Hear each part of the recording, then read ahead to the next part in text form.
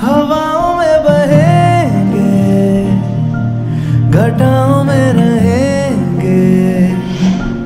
तू बरखा मेरी, मैं तेरा बादल पिया। जो तेरे ना हुए तो किसी के ना रहेंगे दीवानी तू मेरी।